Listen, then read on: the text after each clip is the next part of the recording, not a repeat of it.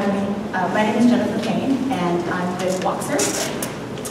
To start, I'd like to ask a couple of questions. Uh, first, how many of you love, love, love, love filling out surveys?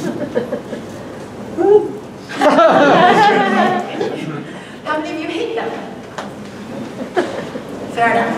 So for those of you that didn't raise your hand, I suspect that you probably fall in the middle lean towards the hate.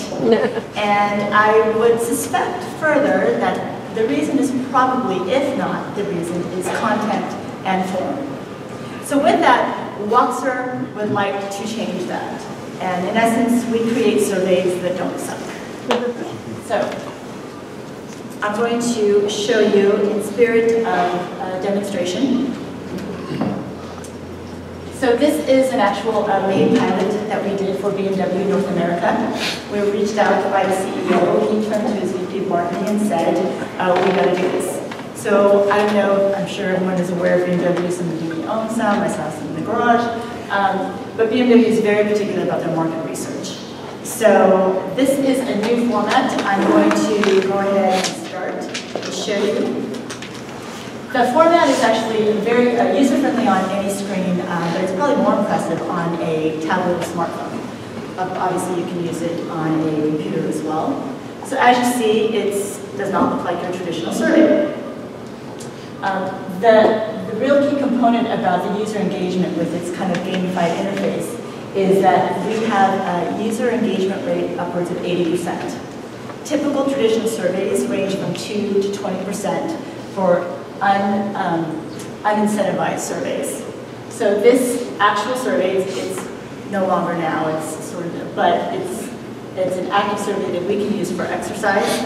So what you can see here is there is a header question. This is fully customizable. Um, it's really meant to be sort of a SaaS model. Um, obviously, it's new, so we do a bit of consulting in regards to content, but really we're working with them as far as content, content and goals. so here you have your, and for sake of time, we'll go through this quickly. I mean, if you guys really want to do a survey, we can give it to you afterwards, or uh, any other survey.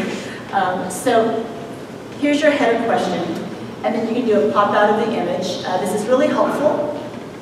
If, for example, you know, you're looking at a product, uh, we did a pilot with Double Bean. If you want to look at the dress, you want to look at full context, uh, that's very helpful. And then this is what's really unique with Woxxer is really, you know, you have kind of this visceral experience that's really trying to capture your critical thinking versus just a digital scale of 1 to 10, like, dislike, you know, disagree, always, you know, um, I don't like.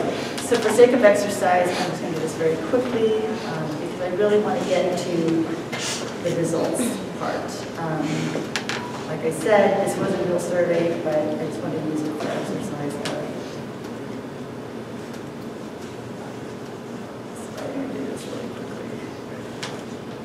I want to show something, but um, but as you can see, I mean, it really within, like you could look at this and you could just say, hey, I don't, wait, I don't have this, I would pay for this feature, I wouldn't. I mean, the scale is really just the idea. I mean, if you're really analytical and want to do literally 98%, but it's usually just a gut sort of visceral response in regards to, you know, where you feel, uh, this kind of thing. Um, almost well, we had, um, and this was BMW's content. So we obviously try to inspire, you know, more creative content and engaging. Um, you know, the platform is obviously our our user interface.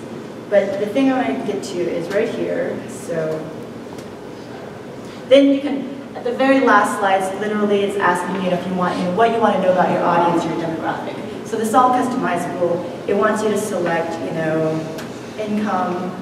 Let's just for sake of where we are, you know.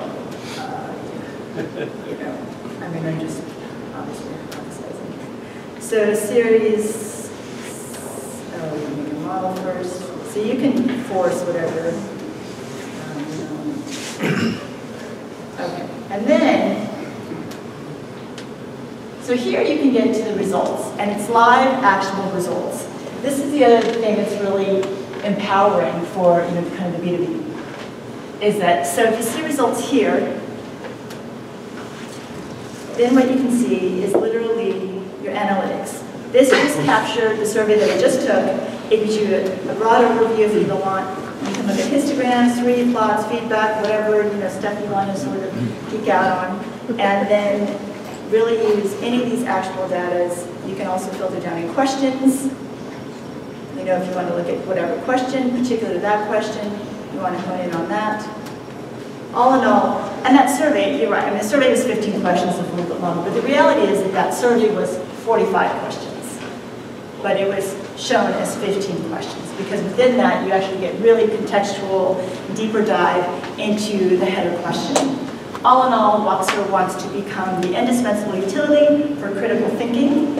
And with that, we have a proven concept, BMW, Yale, MIT Enterprises, checkpoint, and a pipeline of pilot projects that we're working on. We are an early stage startup that is looking for seed funding to be able to get it out there and scale.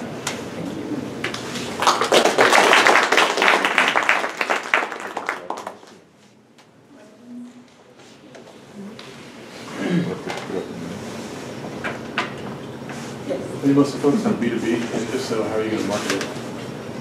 So we, we are B2B, um, really the SaaS model. Um, marketing is we have um, actually uh, pull, not push, uh, interest from certain verticals. Uh, one of them being particularly automotive, but also market research firm. This market research firm that we're piloting that does 80% of the new vehicle experience surveys.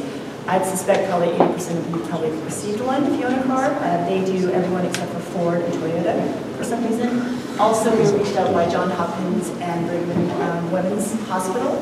So I wasn't aware of this, but hospitals are internally, there are a ton of surveys, but there's also the patient survey. Um, but the internal survey is probably more our go-to-market because it doesn't deal with a, a confidentiality issue. Oh, I didn't say, the question was, what, the question was, is how are we're going to market. Uh, as I can guess, uh, this solution would work on a specific set of products, not for everything. And uh, what kind of niches do you think would be the best way? That's interesting that you say it. The question was, this, this survey would only work for certain types of products or industries. Um, we were actually very surprised of the reception that we got across a wide variety.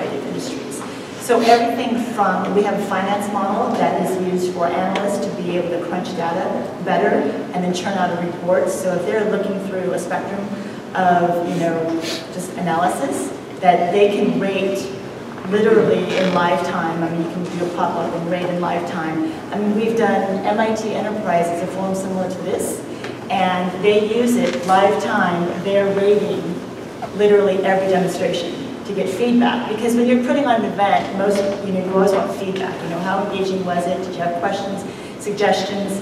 So it's actually across the board in industries. Uh, we're really, we're really surprised, even HR consulting firms, because employee reviews. So um, the founder actually did a, the 360 employee review for JP Morgan.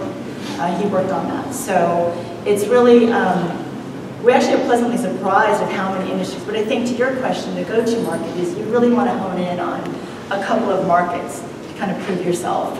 Um, I think you don't want to go out of the gate trying to be everything to anyone, but it could certainly be applied. Yes? So I was wondering, do you capture the hypocritical input? And that is, if you ask the question one way, you get one answer, and if you ask the question which should be equivalent, a different way, you get a different answer. And do you have a way of doing, basically capturing fuzzy sets and uh, being able to uh, show the uncertainty in the customer's mind? So the question was, uh, do we have an answer for the hypocritical and fuzzy sets? Yeah. Is that correct? okay. Um, sure. So I will say that this is uh, directed by the client. So the content is manufactured by the client. So we certainly can't dictate, you know, how they're asking the question, um, because it's really the platform that we're providing for them to answer the question, uh, for them to provide to their to their audience. Does that answer your question? You're a platform, not not a content provider. We're right. We're I mean, our SaaS model, correct? I mean, that's what we're. That's, so that means you don't have much in the way of professional services. Right. We're not gearing towards to be a consulting firm. I mean, I think some initial clients have asked us help them with the questions, but content, their objective, their goal is truly, you know, subject to the client. I mean, that's not, we don't want to be consulting firm in that regard. Thank you.